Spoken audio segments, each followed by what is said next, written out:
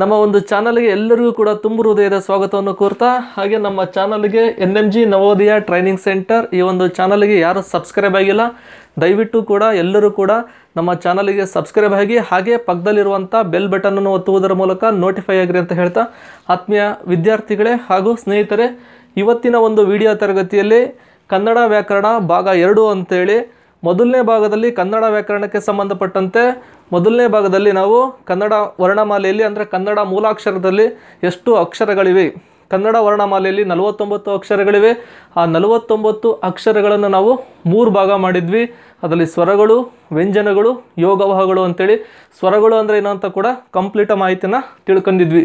ಹಾಗಾದರೆ ಭಾಗ ಒಂದರಲ್ಲೇ ನಾವು ಈ ಸಂಧ್ಯಾಕ್ಷರಗಳು ಅಂತ ಹೇಳ್ತಾ ಇದ್ವಿ. ಮತ್ತೊಮ್ಮೆ ನಾನು ರಿಪೀಟ್ ಮಾಡ್ತಾ ಇದ್ದೀನಿ. ಯಾಕೆಂದರೆ ಇದು ವಿವಿಧ ಒಂದು ಸ್ಪರ್ಧಾತ್ಮಕ ಪರೀಕ್ಷೆಗಳಲ್ಲಿ ಎಕ್ಸಾಮಲ್ಲಿ ಕೇಳುವಂಥ ಪ್ರಶ್ನೆ. ಸಂಧ್ಯಾಕ್ಷರ ಇಲ್ಲಿ ಗಮನಿಸ್ಬೋದು ಸ್ನೇಹಿತರೆ, ಸಂಧಿ ಪ್ಲಸ್ ಅಕ್ಷರ ಸಂಧ್ಯಾಕ್ಷರ ಅಂತೇಳಿ ಕರಿತೀವಿ. ಹಾಗಾದರೆ ಇಲ್ಲಿ ಸಂಧಿ ಕಾರ್ಯ ನಡೆದಿದೆ ಅಂತ ಅಂದರೆ ಇಲ್ಲಿ ಐ ಮತ್ತು ಅವು ಎಂಬ ಎರಡು ಅಕ್ಷರಗಳನ್ನು ನಾವೇನಂತ ಕರಿತೀವಿ? ಸಂಧ್ಯಾಕ್ಷರಗಳು ಅಂತೇಳಿ ಕರಿತೀವಿ. ನಾವು ಉಚ್ಚಾರಣೆ ಮಾಡುವಂಥ ಸಂದರ್ಭದಲ್ಲಿ ನಮ್ಮ ಧ್ವನಿಯನ್ನು ನಾವು ಗಮನಿಸಬೇಕಾಗುತ್ತೆ. ಆ ಧ್ವನಿಯನ್ನು ಗಮನಿಸಿದಾಗ ನಮಗೆ ಏನನ್ಸುತ್ತಪ್ಪ ಅಂದರೆ ಇಲ್ಲಿ ಯಾವುದೋ ಒಂದು ಎರಡು ಅಕ್ಷರಗಳು ಸೇರ್ಕೊಂಡು ಏನಾಗಿದೆ? ಸಂಧಿ ಕಾರ್ಯ ನಡೆದಿದೆ ಅಂತೇಳಿ. ಹಾಗಾದರೆ ಇಲ್ಲಿ ಆ ಎರಡು ಅಕ್ಷರಗಳು ಯಾವುದಿರ್ಬೋದು? ನೋಡ್ರಿ ಇಲ್ಲಿ. ನಮ್ಮ ಧ್ವನಿಯನ್ನು ಸ್ವಲ್ಪ ನೀವು ಕೂಡ ಚೆಕ್ ಮಾಡ್ತಾ ಬರ್ಬೋದು. ಧ್ವನಿಯನ್ನು ಗಮನಿಸಿದರೆ ಸಾಕು, ಅಕ್ಷರಗಳು ಯಾವುದಂತ ಗೊತ್ತಾಗುತ್ತೆ? ಐ ಅಂತೇಳಿ. ಐ ಅನ್ನೋ ಅಕ್ಷರವನ್ನು ಉಚ್ಚಾರ ಮಾಡುವಂಥ ಸಂದರ್ಭದಲ್ಲಿ ಆರಂಭದಲ್ಲಿ ಬರುವಂಥ ಅಕ್ಷರ ಮತ್ತು ಕೊನೆಯಲ್ಲಿ ಬರುವಂಥ ಅಕ್ಷರವನ್ನು ಗಮನಿಸಬೇಕಾಗುತ್ತೆ. ಹಾಗಾದರೆ ಐ, ನೋಡ್ರಿ ಆರಂಭದಲ್ಲಿ ಐ, ಆ ಸೌಂಡ್ ಬರ್ತಾ ಇದೆ. ಆ. ಆ ಪ್ಲಸ್ ಐ. ಐ, ಇ ಈ ಸೌಂಡ್ ಬರ್ತಿದೆ. ಹಾಗಾದರೆ ವಿದ್ಯಾರ್ಥಿಗಳೇ, ಇಲ್ಲಿ ಇಲ್ಲಿ ಎರಡೂ ಅಕ್ಷರಗಳಿದೆ. ಆ ಪ್ಲಸ್ ಇ, ಅಂದರೆ ಆ ಅನ್ನೋ ಅಕ್ಷರ, ಇದು ಕೂಡ ರಸಸ್ವರ. ಇ ಅನ್ನೋ ಅಕ್ಷರ, ಇದು ಕೂಡ ರಸಸ್ವರ. ಹಾಗಾದರೆ ಇವೆರಡೂ ರಸಸ್ವರ ಅಂದರೆ ಇದು ಒಂದು ಮಾತ್ರೆ ಕಾಲದಲ್ಲಿ ಉಚ್ಚರಿಸುವಂಥ ಅಕ್ಷರ, ಇದು ಕೂಡ ಒಂದು ಮಾತ್ರೆ ಕಾಲದಲ್ಲಿ ಉಚ್ಚರಿಸುವಂಥ ಅಕ್ಷರ. ನೆಕ್ಸ್ಟ್ ಹಾಗಾದರೆ, ಅವು ಅಂತೇಳಿ. ಇದನ್ನು ಕೂಡ ಸ್ವಲ್ಪ ಧ್ವನಿಯನ್ನು ಗಮನಿಸಿದ್ರೆ ಗೊತ್ತಾಗುತ್ತೆ. ಔ ಆ ಪ್ಲಸ್ ನೋಡ್ರಿ, ಕೊನೆ ಅಕ್ಷರ ಔ. ಕೊನೆ ಧ್ವನಿ ಏನು ಬರ್ತಾ ಇದೆ ಅಲ್ಲಿ? ಊ ಊ ಸೌಂಡ್ ಬರ್ತಾ ಇದೆ. ಔ. ಹಾಗಾದರೆ ಸಂಧ್ಯಾಕ್ಷರಗಳು ಎರಡು, ಐ ಮತ್ತು ಔ. ಐಯಲ್ಲಿ ಆ ಮತ್ತು ಇ ಅನ್ನೋ ಅಕ್ಷರಗಳಿದೆ ಅವಲ್ಲಿ ಆ ಮತ್ತು ಉ ಎಂಬ ಎರಡು ಅಕ್ಷರಗಳು ಸೇರ್ಕೊಂಡು ಸಂಧ್ಯಾಕ್ಷರಗಳಿದೆ. ಇಲ್ಲಿ ಕೂಡ ಹೇಳಿದೆ ಆಗಲೇ ಕೂಡ, ಇದು ರಸಸ್ವರ, ಇದು ಕೂಡ ರಸಸ್ವರ, ಇವೆರಡೂ ರಸಸ್ವರ ಸೇರ್ಕೊಂಡು ಇದು ದೀರ್ಘ ಸ್ವರ ಆಗಿದೆ. ಅಂದರೆ ಇದು ಒಂದು ಮಾತ್ರೆ ಕಾಲದಲ್ಲಿ ಉಚ್ಚರಿಸುವಂಥ ಅಕ್ಷರ, ಇದು ಕೂಡ ಒಂದು ಮಾತ್ರೆ ಕಾಲದಲ್ಲಿ ಉಚ್ಚರಿಸುವಂಥ ಅಕ್ಷರ. ಅವು ಅನ್ನೋದು ಎರಡು ಮಾತ್ರೆ ಕಾಲದಲ್ಲಿ ಉಚ್ಚರಿಸುವಂಥ ಅಕ್ಷರ. ದೀರ್ಘ ಸ್ವರ ಅಂತಲೂ ಕೂಡ ಕರಿತೀವಿ ಸ್ನೇಹಿತರೆ, ಮತ್ತು ಸಂಧ್ಯಾಕ್ಷರ ಕೂಡ ಅಂತ ಕರಿತೀವಿ. ಭಾಳ ನೀಟಾಗಿ ತಿಳ್ಕೊಂಡಿರ್ಬೇಕಾಗುತ್ತೆ. ಸರಿ ನೆಕ್ಸ್ಟ್ ಹಾಗಾದರೆ ಕನ್ನಡ ವರ್ಣಮಾಲೆಯಲ್ಲಿ ವ್ಯಂಜನಗಳು ಅದ್ರ ಬಗ್ಗೆ ಮಾಹಿತಿಯನ್ನು ತಿಳ್ಕೊಳ್ಳೋಣ. ಹಾಗಾದರೆ ವ್ಯಂಜನಗಳು ಎಷ್ಟು ಅಕ್ಷರಗಳಿವೆ? ಎಕ್ಸಾಮಲ್ ಕೇಳ್ತಾರೆ. ವ್ಯಂಜನಗಳ ಸಂಖ್ಯೆ ಡ್ಯಾಶ್ ಫಸ್ಟ್ ಆಪ್ಷನ್ ಹದಿಮೂರು. ಸೆಕೆಂಡ್ ಆಪ್ಷನ್ ಮೂವತ್ತ್ನಾಲ್ಕು ಥರ್ಡ್ ಆಪ್ಷನ್ ಒಂಬತ್ತು. ಫೋರ್ತ್ ಆಪ್ಷನ್ ನಲವತ್ತೊಂಬತ್ತು. ಹಾಗಾದರೆ ಯಾವುದು ಸರಿ? ಮೂವತ್ತ ನಾಲ್ಕು ಅನ್ನೋದು ಸರಿ. ಕನ್ನಡ ವರ್ಣಮಾಲೆಯಲ್ಲಿ ವ್ಯಂಜನ ಅಕ್ಷರಗಳು ಸಂಖ್ಯೆ ಡ್ಯಾಶ್ ಮೂವತ್ತ ನಾಲ್ಕು ಹಾಗಾದರೆ ವ್ಯಂಜನಗಳು ಅಂದರೆ ಏನಿರ್ಬೋದು? ವ್ಯಂಜನಗಳು ಅಂದರೆ ಏನಿರ್ಬೋದು? ಸರಿ, ಹಾಗಾದರೆ ಗಮನಿಸಿರಲಿ. ಇಲ್ಲಿ ವ್ಯಂಜನಗಳು ಅಂದರೆ ನಾವಿಲ್ಲಿ ಇದಕ್ಕೆ ಕನ್ನಡ ವ್ಯಾಕರಣಾಂಶಕ್ಕೆ ಸಂಬಂಧಪಟ್ಟಂತೆ ಕನ್ನಡ ವರ್ಣಮಾಲೆಯಲ್ಲಿ ಇದನ್ನು ಗುರುತು ಅಂತಲೂ ಕೂಡ ಹೇಳ್ತೀವಿ ಅಥವಾ ಚಿಹ್ನೆ ಅಂತಲೂ ಕೂಡ ಹೇಳ್ತೀವಿ. ಗುರುತು ಅಥವಾ ಚಿಹ್ನೆ ಅಂತೇಳಿ. ಹಾಗಂದ್ರೆ ಈ ಮೂವತ್ತ್ನಾಲ್ಕು ಚಿಹ್ನೆಗಳು ಅಲ್ಲಿ ನೋಡ್ರಿ ಕಾಕಾರದಿಂದ ಹಿಡಿದು ಲಾಕಾರದವರೆಗಿನ ಚಿಹ್ನೆಗಳಿಗೆ ನಾವೇನಂತ ಕರಿತೀವಿ? ವ್ಯಂಜನಗಳು ಅಂತೇಳಿ ಕರಿತೀವಿ. ಕಾಕಾರದಿಂದ ಹಿಡಿದು ಲಾಕಾರದವರೆಗಿನ ಅಕ್ಷರಗಳು, ಗುರುತುಗಳು ಅಥವಾ ಚಿಹ್ನೆಗೆ ನಾವೇನಂತ ಕರಿತೀವಿ? ಆತ್ಮೀಯ ವಿದ್ಯಾರ್ಥಿಗಳೇ, ವ್ಯಂಜನಗಳು ಅಂತೇಳಿ ಕರಿತೀವಿ. ಎಸ್, ಹಾಗಾದರೆ ವಿದ್ಯಾರ್ಥಿಗಳೇ, ವ್ಯಂಜನಗಳು ಅಂತೇಳಿ. ವ್ಯಂಜನಗಳು ಅಂದರೆ ಮತ್ತೊಮ್ಮೆ ರಿಪೀಟ್ ಮಾಡ್ತಿದ್ದೀನಿ ವ್ಯಾಕರಣ ಅಂಶದಲ್ಲಿ ಗುರುತು ಅಥವಾ ಚಿಹ್ನೆ ಅಂತಲೂ ಕೂಡ ಕರಿತೀವಿ. ಮತ್ತೊಂದು ನೋಡ್ರಿ ಇಲ್ಲಿ, ಇವು ಸ್ವರಗಳ ಸಹಾಯದಿಂದ ಉಚ್ಚರಿಸಲ್ಪಡುವಂಥ ಅಕ್ಷರಗಳು. ಅಂದರೆ ನಾವು ಸ್ವರಗಳು ಗೊತ್ತಾಯಿತು. ಸ್ವತಂತ್ರವಾಗಿ ಉಚ್ಚರಿಸಲ್ಪಡುವ ಅಕ್ಷರಗಳಿಗೆ ಸ್ವರಗಳು ಅಂತೇಳಿ ಕರಿತೀವಿ. ಇವು ಸ್ವರಗಳ ಸಹಾಯದಿಂದ ಉಚ್ಚರಿಸಲ್ಪಡುವ ಅಕ್ಷರಗಳಿಗೆ ವ್ಯಂಜನಗಳು ಅಂತೇಳಿ ಕರಿತೀವಿ.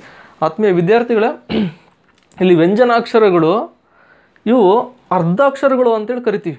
ಇವು ಪೂರ್ಣಾಕ್ಷರಗಳು ಅಲ್ಲ. ಹಾಗಾದರೆ ಇವು ಪೂರ್ಣಾಕ್ಷರಗಳು ಆಗಬೇಕು ಅಂದರೆ ಅದಕ್ಕೆ ಸ್ವರ ಬಂದು ಸೇರ್ಕೋಬೇಕು. ಆ ಸ್ವರ ಸೇರ್ಕೊಂಡಾಗ ಏನಾಗುತ್ತೆ ಅದು? ಪೂರ್ಣಾಕ್ಷರ ಆಗುತ್ತೆ. ಆದರೆ ಹೇಗೆ ಅಂತ ನೋಡ್ರಿ ಇಲ್ಲಿ. ಇದು ಉಚ್ಚಾರ ಮಾಡಬೇಕಾದ್ರೂ ಅಷ್ಟೇ ನಾವು ಅರ್ಧಾಕ್ಷರ ಕ ಅಷ್ಟೇ ಹೇಳ್ತೀವಿ. ಕ ಅಂತ ಹೇಳೋದಿಲ್ಲ. ಇಲ್ಲಿ ಸ್ವರ ಸೇರ್ಕೋಬೇಕಾಗತ್ತೆ. ಇದು ಒಂದೇ ಎಕ್ಸಾಂಪಲ್ ತೊಗೊತೀನಿ ಹಾಗಾದ್ರೆ ಇಲ್ಲಿ. ಕ ಪ್ಲಸ್ ನೋಡ್ರಿ. ಕನ್ನಡ ವರ್ಣಮಾಲೆಯ ಸ್ವರಾಕ್ಷರಗಳು ಹದಿಮೂರು ಇದೆ. ಅದರಲ್ಲಿ ಮೊದಲನೇ ಅಕ್ಷರ ಆ ಅಂತ ತಗೊತಾ ಇದ್ದೀನಿ. ಹಾಗಾದರೆ ಕ ಪ್ಲಸ್ ಆ. ಕೂಡಿಸಿದ್ರೆ ಏನಾಗುತ್ತೆ ಇದು? ಕ ಅಂತ ಆಗುತ್ತೆ. ಇದು ಪೂರ್ಣಾಕ್ಷರ ಆಗುತ್ತೆ. ಹಾಗಾದರೆ ವಿದ್ಯಾರ್ಥಿಗಳೇ, ಕ ಪ್ಲಸ್ ಆ, ಕ ಅಂತ ಆಯಿತು. ಆದರೆ ಇಲ್ಲಿ ಇದು ವ್ಯಂಜನಾಕ್ಷರ ಪ್ಲಸ್ ಇದು ಸ್ವರ. ವ್ಯಂಜನಗಳಿಗೆ ಸ್ವರ ಸೇರ್ಕೊತಾ ಇದೆ. ಅಂದರೆ ಸ್ವರಗಳ ಸಹಾಯದಿಂದ ಉಚ್ಚರಿಸಲ್ಪಡುವ ಅಕ್ಷರಗಳಿಗೆ ನಾವೇನಂತ ಕರಿತೀವಿ? ವ್ಯಂಜನಗಳು ಅಂತೇಳಿ ಕರಿತೀವಿ. ಹಾಗಾದರೆ ವ್ಯಂಜನಗಳು ಮೂವತ್ತ್ನಾಲ್ಕು ಸಂಖ್ಯೆ ಮೂವತ್ತ್ನಾಲ್ಕು ಅಕ್ಷರಗಳಿವೆ. ಆ ಮೂವತ್ತ್ನಾಲ್ಕು ಅಕ್ಷರಗಳನ್ನು ನಾವು ಮತ್ತೆ ಎರಡು ಭಾಗ ಮಾಡ್ತಾ ಇದ್ದೀವಿ. ಅದರಲ್ಲಿ ಮೊದಲನೇದು ವರ್ಗೀಯ ವ್ಯಂಜನ, ಎರಡನೇದು ಅವರ್ಗೀಯ ವ್ಯಂಜನ. ಹಾಗಾದರೆ ವರ್ಗೀಯ ವ್ಯಂಜನದಲ್ಲಿ ಎಷ್ಟು ಅಕ್ಷರಗಳಿವೆ? ಎಕ್ಸಾಂಪಲ್ ಕೇಳ್ಬೋದು. ವರ್ಗೀಯ ವ್ಯಂಜನದಲ್ಲಿ ಗೆಸ್ ಮಾಡಿ ನೋಡ್ರಿ ಹಾಗಾದರೆ ನಿಮಗೇನಾರು ಐಡಿಯಾ ಇದ್ದರೆ ವರ್ಗೀಯ ವ್ಯಂಜನದಲ್ಲಿ ಇಪ್ಪತ್ತೈದು ಅಕ್ಷರಗಳಿವೆ. ಟ್ವೆಂಟಿ ಫೈವ್ ನೆಕ್ಸ್ಟ್ ಹಾಗಾದರೆ ಅವರ್ಗೀಯ ವ್ಯಂಜನದಲ್ಲಿ ಎಷ್ಟು ಅಕ್ಷರಗಳಿವೆ? ಅವರ್ಗೀಯ ವ್ಯಂಜನದಲ್ಲಿ ಒಂಬತ್ತು ಅಕ್ಷರಗಳಿವೆ. ಟೋಟಲ್ ಇವೆರಡನ್ನು ಕೂಡಿದ್ರೆ ಮೂವತ್ತ್ನಾಲ್ಕು ಅಕ್ಷರಗಳು. ವರ್ಗೀಯ ವ್ಯಂಜನಗಳು. ಈ ವರ್ಗೀಯ ವ್ಯಂಜನಗಳು ಇಪ್ಪತ್ತ ಐದು ಅಕ್ಷರಗಳು. ವಿದ್ಯಾರ್ಥಿಗಳೇ. ವಿದ್ಯಾರ್ಥಿಗಳೇ, ಈ ವಿಡಿಯೋವನ್ನು ಹಾಗೆ ಪಾಸ್ ಮಾಡ್ತಾ ನೆಕ್ಸ್ಟ್ ನೀವು ನೋಟ್ಸ್ ಕೂಡ ಮಾಡ್ತಾ ಹೋಗ್ಬೋದು. ನೋಟ್ಸ್ ಬರ್ಕೊತ ಹೋದರೆ ನಿಮಗೂ ಕೂಡ ಹೆಲ್ಪ್ ಆಗುತ್ತೆ ಮತ್ತು ಕಲಿಬೋದು. ಏನೋ ಡೌಟ್ಸ್ ಇದ್ದರೆ ಮತ್ತೆ ವಿಡಿಯೋವನ್ನು ಚೆಕ್ ಮಾಡ್ತಾ ಬರ್ಬೋದು. ಸರಿ, ಹಾಗಾದ್ರೆ ಇಲ್ಲಿ ವರ್ಗೀಯ ವ್ಯಂಜನ, ಹಂಗೆ ವರ್ಗೀಯ ಅಂದರೆ ಏನಿರ್ಬೋದು? ನೋಡ್ರಿ, ಇಲ್ಲಿ ವರ್ಗ ಮಾಡೋದು ಅಂತೇಳಿ ಕರಿತೀವಿ, ವರ್ಗೀಕರಣ ಅಂತೇಳಿ ಕರಿತೀವಿ, ಅಂದರೆ ಭಾಗ ಮಾಡೋದು ಅಂತೇಳಿ. ಇಲ್ಲಿ ಹಾಗಾದರೆ ಯಾವ ರೀತಿ ವರ್ಗವನ್ನು ಮಾಡ್ತೀವಿ ನಾವು ಹಾಗಾದರೆ? ಸರಿ, ಇಲ್ಲಿ ನೋಡಿರಿ, ಕ ಅಕ್ಷರ ಇದೆ. ಇದನ್ನು ಕ ವರ್ಗ ಅಂತ ಕರಿತೀವಿ.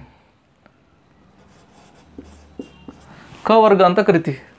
ಇದನ್ನು ಚ ವರ್ಗ ಅಂತ ಕರಿತೀವಿ. ಇದನ್ನು ಟ ವರ್ಗ ಅಂತ ಕರಿತೀವಿ. ಇದನ್ನು ತ ವರ್ಗ ಅಂತ ಕರಿತೀವಿ. ಇದನ್ನು ಪ ವರ್ಗ ಅಂತೇಳಿ ಕರಿತೀವಿ. ಸರಿ, ಹಾಗಾದ್ರೆ ಇಲ್ಲಿ ಸ್ವಲ್ಪ ನಾವು ಗಣಿತಕ್ಕೆ ಬರೋಣ ಹಾಗಾದ್ರೆ ವಿದ್ಯಾರ್ಥಿಗಳೇ. ಈ ಗಣಿತದಲ್ಲಿ ಬಂದರೆ ನಾವು ಇದನ್ನು ನಾವು ಚೌಕ ಅಂತ ಕರಿತೀವಿ. ಚೌಕ ಅಂತ ಕರಿತೀವಿ. ಅದಕ್ಕೆ ಮತ್ತೊಂದು ಹೆಸರು ವರ್ಗ ಅಂತಲೂ ಕೂಡ ಕರಿತೀವಿ. ಇಂಗ್ಲೀಷಲ್ಲಿ ಸ್ಕ್ವೇರ್ ಅಂತೇಳಿ ಕರಿತೀವಿ. ಹಾಗಾದರೆ ಇಲ್ಲಿ ಚೌಕ ಅಥವಾ ವರ್ಗದಲ್ಲಿ ನಾಲ್ಕು ಬಾಹುಗಳು ಕೂಡ ಏನಾಗಿರ್ತವೆ ಸಮವಾಗಿರ್ತವೆ. ಒಂದು ಬಾಹು ಹತ್ತು ಸೆಂಟಿಮೀಟ್ರ್ ಇದ್ದರೆ ನಾಲ್ಕು ಬಾಹುಗಳು ಕೂಡ ಏನಾಗಿರ್ತವೆ ಹತ್ತು ಸೆಂಟಿಮೀಟ್ರ್ ಆಗಿರುತ್ತೆ. ಸರಿ, ಹಾಗಾದರೆ ವಿದ್ಯಾರ್ಥಿಗಳೇ, ಸ್ವಲ್ಪ ಹಾಗಾದರೆ ಇಲ್ಲಿ ಈ ಮ್ಯಾಥ್ಸನ್ನು ಕನ್ನಡಕ್ಕೆ ಅಪ್ಲೈ ಮಾಡೋದಾದರೆ ಸ್ವಲ್ಪ ಚೆಕ್ ಮಾಡಿ ನೋಡ್ರಿ ಇಲ್ಲಿ ಒಂದು, ಎರಡು, ಮೂರು, ನಾಲ್ಕು, ಐದು. ಹೀಗೆ ಎಣಿಸಿದ್ರು ಕೂಡ ಎಡಭಾಗದಿಂದ ಬಲಭಾಗಕ್ಕೆ ಹೋದರೂ ಕೂಡ ಐದು ಅಕ್ಷರಗಳಿದೆ. ಮೇಲಿಂದ ಕೆಳಭಾಗಕ್ಕೆ ಬರೋಣ ಹಾಗಾದರೆ ಒಂದು, ಎರಡು, ಮೂರು. ನೋಡ್ರಿ ಈಗೂ ಐದು ಅಕ್ಷರಗಳಿದೆ. ಹಾಗಾದ್ರೆ ಇದನ್ನು ಕೂಡ, ಹೀಗೂ ಕೂಡ ಐದು ಅಕ್ಷರಗಳಿವೆ. ಇದು ಕೂಡ ಐದು ಅಕ್ಷರಗಳಿವೆ. ನೋಡ್ರಿ, ಹಾಗಾದರೆ ಇಲ್ಲಿ ಐದು ಟೋಟಲು ನಾಲ್ಕು ಭಾಗದಲ್ಲೂ ಕೂಡ ಅಂದರೆ ನಾಲ್ಕು ಬಾಹುಗಳು ಅಂತ ನಾವು ಇದನ್ನು ತಗೊಂಡ್ರೆ ನಾಲ್ಕು ಬಾಹುಗಳು ಸಮ ಇರುತ್ತೆ ಅಂತ ಹೇಳೋದನ್ನು ವರ್ಗ ಅಂತ ಕರಿತೀವಿ. ಸುಮ್ಮನೆ ಇದು ಗಣಿತಕ್ಕೆ ಅಪ್ಲೈ ಮಾಡಿದ್ದು ಇರಲಿ. ಹಾಗಾದರೆ ಇಲ್ಲಿ ವರ್ಗೀಯ ಅಂದರೆ ಇಲ್ಲಿ ಇದನ್ನು ಕ ವರ್ಗ, ಚ ವರ್ಗ, ಟ ವರ್ಗ, ತ ವರ್ಗ, ಪ ವರ್ಗ ಅಂತೇಳಿ ಅಂದರೆ ವರ್ಗ ಮಾಡ್ತಾ ಬರ್ತಾಯಿದ್ದೀವಿ ಅಂತೇಳಿ ಸರಿ, ಆಮೇಲೆ ಹಾಗಾದರೆ ಇಲ್ಲಿ ಕ ವರ್ಗ ಅಂತ ಮಾಡಿದ್ವಲ್ಲ, ಇದನ್ನು ವರ್ಗದ ಮೊದಲನೇ ಅಕ್ಷರಗಳು ಅಂತೇಳಿ ಕರಿತೀವಿ. ಭಾಳ ಸಿಂಪಲ್. ವರ್ಗದ ಮೊದಲನೇ ಅಕ್ಷರ ನೋಡಿರಿ ಫಸ್ಟ್ ಇದೆ. ಹಾಗಾಗಿ ಇದನ್ನು ಮೊದಲನೇ ಅಕ್ಷರ ಅಂತ ಕರಿತೀವಿ. ಇದು ವರ್ಗದ ಎರಡನೇ ಅಕ್ಷರ. ನೆಕ್ಸ್ಟ್ ಇದು ವರ್ಗದ ಮೂರನೇ ಅಕ್ಷರ. ಇದು ವರ್ಗದ ನಾಲ್ಕನೇ ಅಕ್ಷರ. ಇದು ಐದನೇ ಅಕ್ಷರ. ಸರಿ, ನಾವೆಲ್ಲ ಹೇಳ್ತಾ ಇರ್ತೀವಿ, ಕ, ಚ, ಟ, ತ, ಪ ಅಂತೇಳಿ. ಕ, ಚ, ಟ, ತ, ಪ ಅಂತೇಳಿ. ಸರಿ, ಹಾಗಾದರೆ ಇಲ್ಲಿ ಐದು ರೀತಿಯ ವರ್ಗಗಳನ್ನು ಮಾಡಿದ್ದೀವಿ. ಹಾಗಾಗಿ ಇಲ್ಲಿ ಭಾಗಗಳನ್ನು ಕೂಡ ಮಾಡ್ತಾ ಬಂದಿದ್ದೀವಿ. ನೆಕ್ಸ್ಟ್ ಹಾಗಾದರೆ ವಿದ್ಯಾರ್ಥಿಗಳೇ, ವರ್ಗೀಯ ವ್ಯಂಜನದಲ್ಲಿ ವಿಧಗಳು ಅಂತೇಳಿ. ವರ್ಗೀಯ ವ್ಯಂಜನದಲ್ಲಿ ಮೂರು ವಿಧಗಳಿದೆ ಮತ್ತೆ. ಇಷ್ಟು? ಮೂರು ವಿಧಗಳಿದೆ. ಹರ, ಮೂರು ವಿಧಗಳು ಇಲ್ಲಿ ಬೋರ್ಡ್ ಮೇಲೆ ಕಾಣಿಸ್ತಾ ಇದೆ ನಿಮಗೆ. ಮೊದಲನೇದು ಅಲ್ಪಪ್ರಾಣ, ಎರಡನೇದು ಮಹಾಪ್ರಾಣ, ಮೂರನೇದು ಅನುನಾಸಿಕ ಅಂತೇಳಿ. ಹಾಗಾದರೆ ಈ ಅಲ್ಪಪ್ರಾಣ ಅಂದ್ರೇನು, ಮಹಾಪ್ರಾಣ ಅಂದ್ರೇನು, ಅನುನಾಸಿಕಗಳು ಅಂದ್ರೇನು ಈ ಒಂದು ಝೋನಲ್ಲಿ ನಿಮ್ಮ ಮುರಾರ್ಜಿ ಎಕ್ಸಾಮಿಗೆ ಭಾಳ ಇಂಪಾರ್ಟೆಂಟ್ ಕ್ವಶನ್ಸ್ಗಳು ಬಂದೇ ಬರುತ್ತೆ. ಸ್ವಲ್ಪ ನೀಟಾಗಿ ನೋಡ್ಕೋಬೇಕಾಗುತ್ತೆ. ಹರ ಅಲ್ಪ ಪ್ರಾಣ ಎಂದರೇನು? ಕೇಳ್ಬೋದು. ಅಲ್ಲೊಂದು ಕ್ವಶನ್ ಅಲ್ಪ ಪ್ರಾಣಾಕ್ಷರಗಳು ಎಷ್ಟಿವೆ ಅಂತಲೂ ಕೂಡ ಕೇಳ್ಬೋದು. ಸರಿ, ಹಾಗಾದರೆ ಸ್ವಲ್ಪ ನೋಡ್ರಿ ಇಲ್ಲಿ. ಆ ಒಂದು ಭಾಗವನ್ನು ಅಂದರೆ ಇಲ್ಲಿ ಆ ಕೊಟ್ಟಿರುವಂಥ ಪದವನ್ನು ನಾವೇನು ಮಾಡ್ತಿದ್ದೀನಿ? ಭಾಗ ಮಾಡ್ತಾಯಿದ್ದೀನಿ ನೋಡ್ರಿ, ಅಲ್ಪ ಅಂತೇಳಿ ಮತ್ತೊಂದು ಒಂದು ಪದ. ಇನ್ನೊಂದು ಪ್ರಾಣ ಅಂತೇಳಿ. ಹಾಗಾದರೆ ನಿಮಗೆ ಗೊತ್ತಿದೆ ವಿದ್ಯಾರ್ಥಿಗಳೇ, ಅಲ್ಪ ಅಂದರೆ ಏನಿರ್ಬೋದು ಅಂತೇಳಿ? ಅಲ್ಪ ಅಂದರೆ ಸ್ವಲ್ಪ ಅಂತಲೂ ಕೂಡ ಕರಿತೀವಿ. ಸ್ವಲ್ಪ. ಅಥವಾ ಕಡಿಮೆ ಅಂತಲೂ ಕೂಡ ಕರಿತೀವಿ. ಅಲ್ಪ, ಸ್ವಲ್ಪ, ಕಡಿಮೆ ಅಂತೇಳಿ. ಪ್ರಾಣ ಅಂದರೆ, ಈಗ ನೋಡ್ರಿ ನಾಗರಾಜ್ ಸರ್ ನಿಂತ್ಕೊಂಡಿದ್ದೀರ. ನಾಗರಾಜ್ ಸರ್ ಪ್ರಾಣ ಇದೆ ಹಂಗಂದ್ರೆ, ಹೋಯ್ ನಾಗರಾಜ್ ಸರ್ ಉಸಿರಾಡ್ತಾ ಇದ್ರಪ್ಪ ಅದಕ್ಕೆ ಪ್ರಾಣ ಇದೆ ಅಂತೇಳಿ ಹೇಳ್ತೀವಿ. ಅಂದರೆ, ಉಸಿರಾಡ್ತಾ ಇದ್ದೀವಿ ಅಂತೇಳಿ. ಪ್ರಾಣ ಅಂದರೆ ಇಲ್ಲಿ ಭಾಳ ಸಿಂಪಲ್ ಉಸಿರು ಅಂತೇಳಿ. ಪ್ರಾಣ ಅಂದರೆ ಉಸಿರು. ಸರಿ, ವಿದ್ಯಾರ್ಥಿಗಳ ಡೆಫಿನೇಷನ್ ನೀವೇ ಮಾಡ್ಬೋದು ಹಾಗಾದರೆ. ಅಲ್ಪ ಪ್ರಾಣ ಅಂದರೆ ಇಲ್ಲಿ ಉಸಿರು ಅಂತೇಳಿ. ಹಾಗಾದರೆ ಕಡಿಮೆ ಉಸಿರು, ಅಲ್ಪ ಉಸಿರು, ಸ್ವಲ್ಪ ಉಸಿರು, ಕಡಿಮೆ ಉಸಿರಿನಿಂದ ಉಚ್ಚರಿಸಲ್ಪಡುವ ಅಕ್ಷರಗಳಿಗೆ ನಾವೇನಂತ ಕರಿತೀವಿ? ಅಲ್ಪ ಪ್ರಾಣ ಅಂತೇಳಿ ಕರಿತೀವಿ. ಇಲ್ಲಿ ಬರೆದಿರ್ತೀನಿ ವಿದ್ಯಾರ್ಥಿಗಳೇ, ಒಂದೆರಡು ವರ್ಡ್ ಬರೆದಿರ್ತೀನಿ ಇಲ್ಲಿ. ಕಡಿಮೆ ಉಸಿರಿನಿಂದ. ಕಡಿಮೆ ಉಸಿರಿನಿಂದ ಉಚ್ಚರಿಸಲ್ಪಡುವ ಅಕ್ಷರಗಳಿಗೆ ನಾವೇನಂತ ಕರಿತೀವಿ? ಅಲ್ಪ ಪ್ರಾಣ ಅಂತ ಕರಿತೀವಿ. ನೀವು ನೋಟ್ಸ್ ಮಾಡಬೇಕಾದ್ರೆ ಕಂಪ್ಲೀಟಾಗಿ ಡೆಫಿನೇಷನ್ ಮಾಡ್ಕೊಂಬಿಡ್ರಿ. ಹಾಗಾದರೆ ಈ ವರ್ಗದಲ್ಲಿ ಬಂದರೆ ನಾವು ಇಲ್ಲಿ ಯಾವ ಅಕ್ಷರಗಳನ್ನು ನಾವು ಅಲ್ಪ ಪ್ರಾಣ ಅಂತೇಳಿ ಕರಿತೀವಿ? ಸಿಂಪಲ್ ವಿದ್ಯಾರ್ಥಿಗಳೇ, ಇಲ್ಲಿ ಉಚ್ಚಾರ ಮಾಡುವಂಥ ಸಂದರ್ಭದಲ್ಲಿ ನಿಮಗೆ ಗೊತ್ತಾಗುತ್ತೆ, ಸ್ವಲ್ಪ ಸಮಯ ಅಂದರೆ ಕಡಿಮೆ ಉಸಿರಿನಿಂದ ಉಚ್ಚರಿಸುವಂಥ ಅಕ್ಷರಗಳು. ನೋಡಲಿ ವರ್ಗದ ಒಂದನೇ ಅಕ್ಷರಗಳು, ಇವಿಷ್ಟು ಕೂಡ ಹೌದು, ಐದು. ಕ, ಚ, ಟ, ತ, ಪ. ನೆಕ್ಸ್ಟು ವರ್ಗದ ಮೂರನೇ ಅಕ್ಷರಗಳು. ವರ್ಗದ ಒಂದು ಮತ್ತು ಮೂರನೇ ಅಕ್ಷರಗಳನ್ನು ನಾವೇನಂತ ಕರಿತೀವಪ್ಪ ಅಂದರೆ ಅಲ್ಪ ಪ್ರಾಣ ಅಂತೇಳಿ ಕರಿತೀವಿ. ವರ್ಗದ ಒಂದು ಮತ್ತು ಮೂರನೇ ಅಕ್ಷರಗಳು. ನೆಕ್ಸ್ಟ್ ಕ್ವಶನ್ ಹಾಗಾದರೆ ಕೇಳ್ಬೋದು ವಿದ್ಯಾರ್ಥಿಗಳಲ್ಲಿ ವರ್ಗದ ಎಷ್ಟನೇ ಅಕ್ಷರವನ್ನು ಅಲ್ಪ ಪ್ರಾಣ ಅಂತ ಹೇಳಿ ಕರಿತೀವಿ. ಎಕ್ಸಾಮಲ್ಲಿ ನೋಡ್ರಿ, ಯಾವ ರೀತಿ ಕ್ವಶನ್ಸ್ಗಳನ್ನು ಕೇಳ್ತಾರೆ. ಇಲ್ಲಿ ಅಲ್ಪ ಪ್ರಾಣ ಎಂದರೇನು ಅಂತ ಕ್ವಶನ್ ಕೇಳ್ಬೋದು. ಕಡಿಮೆ ಉಸಿರಿನಿಂದ ಉಚ್ಚರಿಸಲ್ಪಡುವ ಅಕ್ಷರಗಳಿಗೆ ಡ್ಯಾಶ್ ಎಂದು ಕರೀತಾರೆ ಅಂತ ಕ್ವಶನ್ ಕೇಳ್ಬೋದು. ವರ್ಗದ ಎಷ್ಟನೇ ಅಕ್ಷರವನ್ನು ನಾವು ಅಲ್ಪ ಪ್ರಾಣ ಎಂದೇಳು ಕರಿತೀವಿ ಅಂತ ಅದನ್ನಾರ ಕೇಳ್ಬೋದು. ಅಥವಾ ವರ್ಗದ ಒಂದು ಮತ್ತು ಮೂರನೇ ಅಕ್ಷರಗಳನ್ನು ಡ್ಯಾಶ್ ಎಂದು ಕರೆಯುತ್ತೇವೆ. ನೋಡ್ರಿ, ನಾಲ್ಕು, ಐದು ರೀತಿಯಲ್ಲಿ ಕ್ವಶನ್ಸ್ಗಳನ್ನು ಕೇಳ್ತಾ ಬರ್ತಾರೆ. ಮತ್ತೊಂದು ಕ್ವಶನ್ ಕೇಳ್ಬೋದು ಇಲ್ಲಿ ಹಾಗಾದರೆ, ಅಲ್ಪ ಪ್ರಾಣ ಅಕ್ಷರಗಳ ಸಂಖ್ಯೆ ಎಷ್ಟು? ಹಾಗಾದ್ರೆ ಎಣಿಸ್ಬಿಡೋಣ ಹಾಗಾದ್ರೆ, ಇಲ್ಲಿ ಐದು ಅಕ್ಷರ ಇದೆ, ಇಲ್ಲಿ ಐದು ಅಕ್ಷರ ಇದೆ ಟೋಟಲ್ ಎಷ್ಟಾದವು? ಹತ್ತು. ಹತ್ತು ಅಕ್ಷರಗಳಿವೆ. ನೋಡ್ರಿ, ಎಷ್ಟು ಈಸಿಯಾಗಿದೆ ಅಂತೇಳಿ ಗ್ರಾಮರು ಭಾಳ ಈಸಿಯಾಗಿ ನಾವು ಈ ಒಂದು ಕಾಂಪಿಟೇಟಿವ್ ಎಕ್ಸಾಮಲ್ಲಿ ಅಂಕಗಳನ್ನು ಪಡಿಬೋದು. ನೆಕ್ಸ್ಟ್ ಬರೋಣ ಹಾಗಾದರೆ ಎರಡನೇದು, ಮಹಾಪ್ರಾಣ. ಇಲ್ಲಿ ಗೊತ್ತಾಯ್ತು, ಇದು ಅಲ್ಪ ಪ್ರಾಣ, ಅದು ಮಹಾಪ್ರಾಣ. ಭಾಳ ಈಸಿ ಆದರೆ ಇಲ್ಲಿ ಮಹಾ ಅಂದರೆ ಗೊತ್ತಾಯಿತು ಜಾಸ್ತಿ ಅಂತೇಳಿ, ಹೆಚ್ಚು ಅಂತೇಳಿ. ಪ್ರಾಣ ಅಂದರೆ ಉಸಿರು ಅಂತೇಳಿ. ಆದರೆ ಇಲ್ಲಿ ಹೆಚ್ಚು ಉಸಿರಿನಿಂದ ಉಚ್ಚರಿಸಲ್ಪಡುವ ಅಕ್ಷರ. ಹೆಚ್ಚು ಉಸಿರಿನಿಂದ. ಹೆಚ್ಚು ಉಸಿರಿನಿಂದ ಉಚ್ಚರಿಸಲ್ಪಡುವ ಅಕ್ಷರಗಳಿಗೆ ನಾವೇನಂತ ಕರಿತೀವಿ? ಮಹಾಪ್ರಾಣ ಅಂತೇಳಿ ಕರಿತೀವಿ. ಹಾಗಾದರೆ ವರ್ಗದ ಎಷ್ಟನೇ ಅಕ್ಷರಗಳು ಆಗಿರ್ಬೋದು? ನೋಡ್ರಿ, ಒಂದನೇ ವರ್ಗದ ಒಂದನೇ ಅಕ್ಷರ ಮತ್ತು ಮೂರನೇ ಅಕ್ಷರ ಆಲ್ರೆಡಿ ಅಲ್ಪ ಪ್ರಾಣಕ್ಕೆ ಸೇರಿಸಿದ್ವಿ. ಈಗ ಉಳಿದಿರುವಂಥದ್ದು ನಮಗೆ ವರ್ಗದ ಎರಡನೇ ಅಕ್ಷರಗಳು, ವರ್ಗದ ನಾಲ್ಕನೇ ಅಕ್ಷರಗಳು, ವರ್ಗದ ಐದನೇ ಅಕ್ಷರಗಳು. ಹಾಗಾದರೆ ಈ ವರ್ಗದ ಈ ಎರಡು ಮತ್ತು ನಾಲ್ಕನೇ ಅಕ್ಷರ, ಸ್ವಲ್ಪ ಗಮನಿಸ್ಬೇಕಿಲ್ಲಿ. ವರ್ಗದ ಎರಡು ಮತ್ತು ನಾಲ್ಕನೇ ಅಕ್ಷರವನ್ನು ನಾವೇನಂತ ಕರಿತೀವಪ್ಪ ಅಂದರೆ ಮಹಾಪ್ರಾಣ ಅಂತೇಳಿ ಕರಿತೀವಿ. ವರ್ಗದ ಎರಡು ಮತ್ತು ನಾಲ್ಕನೇ ಅಕ್ಷರವನ್ನು ಮಹಾಪ್ರಾಣ ಅಂತೇಳಿ ಕರಿತೀವಿ. ಅಲ್ಲಿ ಕೂಡ ನಾನು ಇಲ್ಲಿನ ಕ್ವಶನ್ಸ್ಗಳನ್ನ ಹೇಳಿದ್ದೆ. ಅದೇ ರೀತಿಯ ಕ್ವಶನ್ಸ್ ಕೂಡ ಇಲ್ಲಿ ಕೂಡ ಅಪ್ಲೈ ಮಾಡ್ಬೋದು. ನೆಕ್ಸ್ಟ್ ಹಾಗಾದರೆ ಮಹಾಪ್ರಾಣ ಅಕ್ಷರಗಳ ಸಂಖ್ಯೆ ಎಷ್ಟು ಅಂತ ಕೇಳ್ಬೋದು. ಅಲ್ಲಿ ಕೂಡ ಹತ್ತು ಕೌಂಟ್ ಮಾಡಿ ನೋಡಿರ್ಬೇಕಾದ್ರೆ ಹತ್ತು ಅಕ್ಷರಗಳಿವೆ. ನೆಕ್ಸ್ಟು ಹಾಗಾದರೆ ಅಲ್ಪ ಪ್ರಾಣ ಮುಗೀತು, ಮಹಾಪ್ರಾಣ ಮುಗೀತು. ನೆಕ್ಸ್ಟ್ ಹೀಗೆ ಅನುನಾಸಿಕ. ನೋಡ್ರಿ, ಇಲ್ಲಿ ಕೂಡ ಭಾಗ ಮಾಡ್ಕೊಂಡಿದ್ವಿ. ಇದನ್ನು ಕೂಡ ಭಾಗ ಮಾಡ್ಕೊಂಡ್ರಿ. ಏನು ಸಮಸ್ಯೆ ಇಲ್ಲ. ಅನು ನಾಸಿಕ. ಅರೆ, ಅನು ಅಂದರೆ? ಹುಡುಗಿ ಹೆಸರು ಸರ್. ಹುಡುಗಿ ಹೆಸರು ಅಲ್ಲ. ಅನು ಅಂದರೆ ಸಹಾಯ ಅಂತ ಹೇಳಿ. ಅನು ಅಂದರೆ ಸಹಾಯ. ನಾಸಿಕ ಅಂದರೆ ಮೂಗು ಅಂತೇಳಿ ನಾಸಿಕ ಅಂದರೆ ಮೂಗು. ಅಂದರೆ ಮೂಗಿನ ಸಹಾಯದಿಂದ ಉಚ್ಚರಿಸುವ ಅಕ್ಷರಗಳು ಅಂತೇಳಿ ಕರಿತೀವಿ. ಕೆಲವೊಬ್ಬರು ಬರೆಯಬೇಕಾದ್ರೆ ಹೇಳ್ತಿರ್ತಾರೆ, ಕಲ್ತಿರ್ತಾರೆ ಕರೆಕ್ಟಾಗಿ ಮೂಗಿನ ಸಹಾಯದಿಂದ ಉಚ್ಚರಿಸುವ ಅಕ್ಷರಗಳು ಅಂತೇಳಿ ಎಕ್ಸಾಮಲ್ಲಿ ಬರೆಯಬೇಕಾದ್ರೆ ಅನುನಾಸಿಗಳೆಂದರೇನು? ಮೂಗಿನಿಂದ ಉಚ್ಚರಿಸಲ್ಪಡುವ ಅಕ್ಷರಗಳಿಗೆ ಅನುನಾಸಿಗಳು ಎಂದರೆ ತಪ್ಪು ವಿದ್ಯಾರ್ಥಿಗಳೇ, ಮೂಗಿನಿಂದ ಉಚ್ಚರಿಸಲ್ಲ, ಮೂಗಿನ ಒಂದು ಸಹಾಯ ಬೇಕಾಗುತ್ತೆ. ಹಾಗಾಗಿ ಮೂಗಿನ ಸಹಾಯದಿಂದ ಉಚ್ಚರಿಸಲ್ಪಡುವ ಅಕ್ಷರಗಳು ಅಂತೇಳಿ ಕರಿತೀವಿ. ಹಾಗಾದ್ರೆ ಇವು ವರ್ಗದ ಐದನೇ ಅಕ್ಷರಗಳು. ಸ್ವಲ್ಪ ನೋಡಲಿ ನ ನ ನ ನ, ಮ. ಅಂದರೆ ಮೂಗಿನಿಂದ ಸೌಂಡ್ ಬಂದಾಗುತ್ತೆ ಅಂದರೆ ಮೂಗಿನ ಸಹಾಯ ಬೇಕಾಗುತ್ತೆ. ಅದರ ವರ್ಗದ ಐದನೇ ಅಕ್ಷರಗಳನ್ನು ನಾವೇನಂತ ಕರಿತೀವಿ? ವರ್ಗದ ಐದನೇ ಅಕ್ಷರಗಳನ್ನು ನಾವು ಅನುನಾಸಿಕಗಳು ಅಂತೇಳಿ ಕರಿತೀವಿ. ಕ್ವಶನ್ಸ್ಗಳು ಕೇಳೋ ಸಾಧ್ಯತೆಗಳಿರುತ್ತೆ. ಸ್ವಲ್ಪ ಗಮನ ಹರಿಸ್ಬೇಕು. ನೆಕ್ಸ್ಟ್ ಹಾಗಾದರೆ ವರ್ಗದಲ್ಲೇ, ವರ್ಗದ ಐದನೇ ಅಕ್ಷರಗಳ ಅನುನಾಸಿಗಳಾದರೆ ಅವುಗಳ ಸಂಖ್ಯೆ ಎಷ್ಟು ಅಂತ ಕೇಳ್ಬೋದು. ಐದು. ಅವುಗಳ ಸಂಖ್ಯೆ ಐದು. ಸರಿ, ಭಾಳ ಈಸಿ ಇದೆ. ಭಾಳ ಸಿಂಪಲ್ ನೆನ್ಪಿಡ್ಕೋಬೋದು ವರ್ಗೀಯ ವ್ಯಂಜನಗಳು, ಸ್ವರಗಳ ಸಹಾಯದಿಂದ ಉಚ್ಚರಿಸುವಂಥ ಅಕ್ಷರಗಳು, ಒಂದು ವರ್ಗ ಮಾಡ್ತಾ ಇದ್ವಿ. ಕವರ್ಗ ಚವರ್ಗ ಟವರ್ಗ ತವರ್ಗ ಪವರ್ಗ ಅಂತೇಳಿ. ನೆಕ್ಸ್ಟು ಇಲ್ಲಿ ಅಲ್ಪಪ್ರಾಣ, ಮಹಾಪ್ರಾಣ, ಅನುನಾಸಿಕ ಮೂರು ಭಾಗ ಮಾಡಿದ್ದೀವಿ ಅಲ್ಪಪ್ರಾಣ ಅಕ್ಷರಗಳು ಎಷ್ಟಿದೆ? ಮಹಾಪ್ರಾಣ ಅಕ್ಷರಗಳು ಎಷ್ಟಿದೆ ಅನುನಾಸಿಗಳು ಎಷ್ಟಿದೆ ಅಂತೇಳಿ ಸ್ವಲ್ಪ ನೋಟ್ಸ್ ಮಾಡ್ಕೊಂಡು ಟಿಕ್ ಮಾಡ್ಕೊಂಬಿಟ್ರೆ ಇಲ್ಲಿ ಗ್ಯಾರಂಟಿ ನಿಮಗೆ ಒಂದು ಅಥವಾ ಎರಡು ಅಂಕಗಳು ಬಂದೇ ಬರುತ್ತೆ. ನೆಕ್ಸ್ಟ್ ಹಾಗಾದರೆ ವಿದ್ಯಾರ್ಥಿಗಳೇ, ಅವರ್ಗೀಯ ವ್ಯಂಜನಗಳು. ವರ್ಗೀಯ ವ್ಯಂಜನಗಳು ಇಪ್ಪತ್ತೈದು ಅಕ್ಷರ ಗೊತ್ತಾಯಿತು. ಅವುಗಳ ವಿಧಗಳು ಕೂಡ ಗೊತ್ತಾಯಿತು. ಹೀಗೆ ಅವರ್ಗೀಯ ವ್ಯಂಜನಗಳು. ಏನು ಅವರ್ಗೀಯ? ಅಲ್ಲಿ ವರ್ಗ ಮಾಡೋದಕ್ಕೆ ವರ್ಗೀಯ ವ್ಯಂಜನ ಅಂತ ಕರಿದ್ವಿ. ಇಲ್ಲಿ ವರ್ಗ ಮಾಡೋಕ್ಕೆ ಬರೋದಿಲ್ಲ, ಹಾಗಾಗಿ ಇದನ್ನು ಅವರ್ಗೀಯ ವ್ಯಂಜನ ಅಂತ ಹೇಳಿ ಕರಿತೀವಿ. ಭಾಗ ಮಾಡದೇ ಇರುವಂಥ ಅಕ್ಷರಗಳು.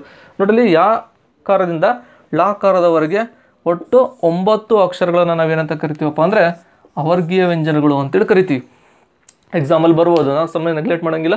ಅವರ್ಗೀಯ ವ್ಯಂಜನಾಕ್ಷರಗಳ ಸಂಖ್ಯೆ ಡ್ಯಾಶ್ ಅಂತೇಳಿ ಒಂಬತ್ತು. ಸರಿ, ಹಾಗಾದರೆ ನೆಕ್ಸ್ಟು ಸ್ವರಗಳು ಮುಗೀತು. ವ್ಯಂಜನಗಳು ಕೂಡ ಕಂಪ್ಲೀಟಾಗಿ ಮುಗೀತು. ಹಾಗಾದರೆ ಮೂರನೇ ಭಾಗ ಇದು ಯೋಗವಾಹಗಳು. ಏನು ಹಾಗಾದರೆ ಯೋಗವಾಹಗಳು ಅಂದರೆ? ನೋಡ್ರಿ, ಇದನ್ನು ಕೂಡ ನಾನು ಭಾಗ ಮಾಡ್ತಾಯಿದ್ದೀನಿ ಹಾಗಾದರೆ ಯೋಗ ಅಂದರೆ ಏನು? ವಾಹ ಅಂದರೆ ಅಂತ ಗೊತ್ತಿರಬೇಕು. ಕೆಲವರು ನಾವು ಮಾತಾಡಬೇಕಾದ್ರೆ ಹೇಳ್ತಾ ಇರ್ತೀವಿ, ಏ, ಎಲ್ಲದಕ್ಕೂ ಯೋಗ ಕೂಡ ಬರಬೇಕಪ್ಪ ಅಂತೇಳಿ. ಅಂದರೆ, ಅದೃಷ್ಟ ಬರಬೇಕು ಅಂತೇಳಿ. ಸಂಬಂಧ ಕೂಡ ಬರಬೇಕು ಅಂತ ಹೇಳ್ತೀವಿ. ಅಂದರೆ ಇಲ್ಲಿ ಯೋಗ ಅಂದರೆ ಅದೃಷ್ಟ ಅಂತನಾರು ಹೇಳ್ಬೋದು, ಅಥವಾ ಸಂಬಂಧ ಅಂತಲೂ ಕೂಡ ಹೇಳ್ತೀವಿ. ಸಂಬಂಧ. ವಾಹ ಅಂದರೆ ಹೊಂದಿದ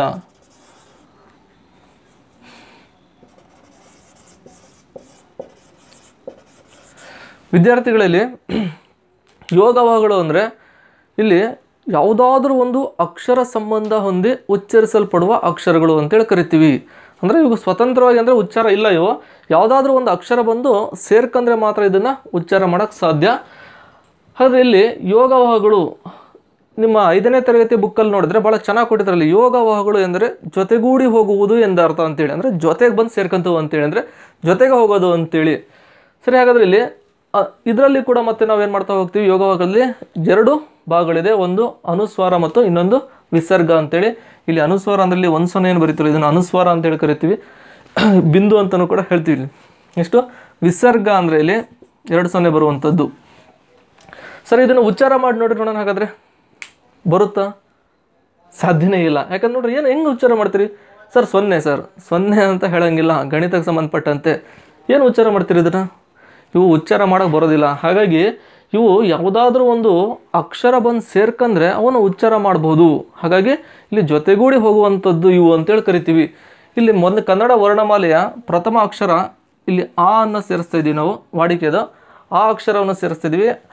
ಹಾಗಾಗಿ ಇಲ್ಲಿ ಅಮ್ ಅಂತ ಹೇಳ್ತೀವಿ, ಇದನ್ನು ಅಹ ಅಂತ ಹೇಳ್ತೀವಿ. ಇವಾಗೆ ಉಚ್ಚಾರ ಬರ್ತಾ ಇದೆ ಅಂದರೆ ಅಕ್ಷರಗಳು ಸೇರಿದ್ರೆ ಮಾತ್ರ ಇದು ಉಚ್ಚಾರ ಬರುತ್ತೆ. ಇಲ್ಲಿ ವಿಸರ್ಗ ಅಂದರೆ ಕೂಡ ಅದು ಗೊತ್ತಾಗುತ್ತೆ. ವಿದ್ಯಾರ್ಥಿಗಳೇ ಇಲ್ಲಿ ಉಸಿರನ್ನು ಹೊರ ಹಾಕೋದು ಅಂತೇಳಿ. ಅಂದರೆ ಅಕ್ಷರವನ್ನು ಉಚ್ಚಾರ ಮಾಡಿದಾಗ ಉಸಿರೇನಾಗ್ತಾ ಇರುತ್ತೆ? ಹೊರಗೆ ಹೋಗ್ತಾ ಇರುತ್ತೆ.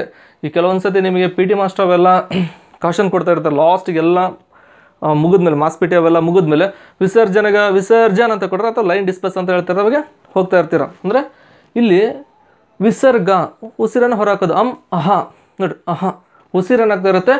ಹೊರ ಹೋಗುತ್ತೆ ಹಾಗಾದ್ರೆ ವಿಸರ್ಗ ಅಂತೇಳಿ ಕರಿತೀವಿ. ಹಾಗಾದ್ರೆ ಇಲ್ಲಿ ನಿಮಗೆ ಎಕ್ಸಾಮಲ್ಲಿ ಯಾವ ರೀತಿ ಕ್ವಶನ್ಸ್ಗಳು ಬರುತ್ತೆ ಅಂದರೆ ಭಾಳ ಸಿಂಪಲ್ ಬರುವುದಿಲ್ಲ ಅವುಗಳ ಸಂಖ್ಯೆ ಎಷ್ಟು ಅಂತ ಕೇಳ್ಬೋದು. ಯೋಗವಾಹಗಳು ಅಂದರೆ ಅಂತ ಕೇಳ್ಬೋದು? ಅಥವಾ ಅವುಗಳ ಸಂಖ್ಯೆ ಎಷ್ಟು ಅಂತ ಕೇಳ್ಬೋದು. ನೆಕ್ಸ್ಟ್ ಹಾಗಾದರೆ ವಿದ್ಯಾರ್ಥಿಗಳೇ, ಈ ಅನುಸ್ವರದ ಇನ್ನೊಂದು, ನಿಮಗೆ ಕಾಗುಣಿತ ಅಕ್ಷರ ಹೇಳ್ಬೇಕಾದ್ರೆ ಕೆಲವೊಂದು ತಪ್ಪುಗಳನ್ನು ಮಾಡ್ತಾ ಇರ್ತೀವಿ ನಾವು. ಹೇಗಪ್ಪ ಅಂದರೆ ನೋಡಿರಿ, ಕ ಕಾ ಕ ಅಂತೇಳಿ. ಕತ್ತಲಗಟ್ಟು ಕ, ಕತ್ತಲಗಟ್ಟಿನ ಇಳಿ ಕ, ಕಾಗುಡಿಸಿ ಕಿ, ಕಾಗುಡಿಸಿನ ದೀರ್ಘ ಕಿ ಕಾಕೊಂಬು ಕು ಕಾಕೊಂಬಿನ ಇಳಿ ಕು, ಕಾ ಒಟ್ರು ಶುಳಿ ಕ್ರು ಕಾಯತ್ವ ಕೆ ಕಾಯತ್ವನ್ ದೀರ್ಘ ಕೆ ಕಾಯತ್ವಾ ಕೈ ಕಾವತ್ವ ಕೋ ಕಾವತ್ವನ್ ದೀರ್ಘ ಕು, ಕಾ ಔತ್ವ ಕೌ ಕಾಕಿ ಅನುಸ್ವಾರ ಕಂ, ಕಾ ವಿಸರ್ಗ ಕಹ ಅಂತ ಹೇಳಬೇಕು. ಕೆಲವು ವಿದ್ಯಾರ್ಥಿಗಳು ಹೇಗೆ ಕಲ್ತಿರ್ತಾರಪ್ಪ ಅಂದ್ರೆ ಲಾಸ್ಟ್ ಮೂಮೆಂಟಲ್ಲಿ ಕಾಕೊಂದು ಸೊನ್ನೆ ಕಂ ಕಾಕೆರಡು ಸೊನ್ನೆ ಕಹ ಅಂತ ಹೇಳ್ತಾರೆ. ತಪ್ಪು ಅದನ್ನು ಆ ರೀತಿ ಬಳಸಬಾರ್ದು. ನೆಕ್ಸ್ಟ್ ಹಾಗಾದರೆ ಈ ಅನುಸ್ವರದ ಒಂದು ಸ್ಪೆಷಲ್ ಇದೆ. ಏನಪ್ಪ ಅಂದರೆ ಸ್ವಲ್ಪ ಗಮನಿಸ್ಬೇಕಿಲ್ಲಿ ನಾನೊಂದು ಎರಡು ಮೂರು ವರ್ಡ್ ಬರೆದಿರ್ತೀನಿ. ಕಂಬ, ಕಂದ, ಕಂಠ ಅಂತೇಳಿ. ಹಾಗಾದ್ರೆ ಇಲ್ಲಿ ಅನುಸ್ವರನ ಗುರುತು ಮಾಡ್ಬೋದು ವಿದ್ಯಾರ್ಥಿಗಳು ನೀವು ಇಲ್ಲಿ ಅನುಸ್ವರ ಇಲ್ಲಿದೆ. ಹೌದಾ? ನೆಕ್ಸ್ಟ್ ನೋಡ್ರಿ, ಇಲ್ಲಿ ಕೂಡ ಇಲ್ಲಿದೆ. ಅನುಸ್ವರ ಇಲ್ಲಿದೆ. ಹಾಗೆ ಅನುಸ್ವರವು ಒಂದು ಸ್ಪೆಷಲ್ ನೋಡ್ರಿ ಇಲ್ಲಿ. ಇದು ಕ, ಅಲ್ಲಿ ಅನುಸ್ವರ ಸೇರಿದ ಕಮ್ ಅಂತ ಹೇಳ್ತಿರ್ತೀವಿ. ಕಂಬ ಅಂತ ಉಚ್ಚಾರ ಮಾಡಬೇಕಾಗುತ್ತೆ. ಇಲ್ಲಿ ಕಂದ ಅಂತ ಉಚ್ಚಾರ ಮಾಡಬೇಕಾಗುತ್ತೆ. ಇಲ್ಲಿ ಕಂಟ ನೋಡ್ರಿ, ಎಷ್ಟು ಈ ಒಂದು ಮೂರು ಪದದಲ್ಲೇ ನಮಗೆ ಎಷ್ಟು ವ್ಯತ್ಯಾಸಗಳು ಕಾಣ್ತಾ ಇದೆ. ನಾವು ಅದು ಉಚ್ಚಾರ ಮಾಡೋದು ಕಂಬ ಅಂತ ಹೇಳ್ತೀವಿ, ಇದನ್ನು ಕಂದ ಅಂತ ಹೇಳ್ತೀವಿ, ಇದನ್ನು ಕಂಠ ಅಂತ ಹೇಳ್ತೀವಿ. ಯಾಕಪ್ಪ ಅಂದರೆ ಈ ವರ್ಗೀಯ ವ್ಯಂಜನದಲ್ಲಿ ಗೊತ್ತಾಗುತ್ತೆ ನಿಮಗೆ. ವರ್ಗೀಯ ವ್ಯಂಜನದಲ್ಲಿ ನಾವು ಕೊನೆಯ ಭಾಗದಲ್ಲಿ, ವರ್ಗದ ಐದನೇ ಅಕ್ಷರವನ್ನು ಏನಂತ ಕರೆದ್ವಿ ನಾವು? ಅನುನಾಸಿಕಗಳು ಅಂತೇಳಿ ಕರೆದ್ವಿ. ಅಂದರೆ ಇಲ್ಲಿ ಅನುಸ್ವರವು ತನ್ನ ಮುಂದೆ ಇರುವ ಅಕ್ಷರದ, ನೋಡ್ರಿ, ಅನುಸ್ವರವು ತನ್ನ ಮುಂದೆ ಇರುವ ಅಕ್ಷರದ ಅನುನಾಸಿಕವನ್ನು ಪ್ರತಿನಿಧಿಸುತ್ತದೆ. ಸ್ವಲ್ಪ ನೀಟಾಗಿ ನೋಡ್ಕೋಬೇಕಾಗುತ್ತೆ. ಇದು ಕೆಲವೊಬ್ರಿಗೆ ಗೊತ್ತಿರೋದಿಲ್ಲ. ಸ್ವಲ್ಪ ನೋಡ್ರಿ ಹಾಗಾದ್ರೆ. ಇಲ್ಲಿ ಕ ಅನ್ನೋ ಅಕ್ಷರ ಇದೆ. ಇಲ್ಲಿ ಕಂಬ, ನೋಡ್ರಿ, ಬಾ ಅನ್ನೋ ಅಕ್ಷರ ಇದೆ. ಅನುಸ್ವರದ ಮುಂದೆ ಇರುವಂಥ ಅಕ್ಷರ ಬ, ಅಂದರೆ ಪ ಪ, ಬ ಬ, ಮ ಮ.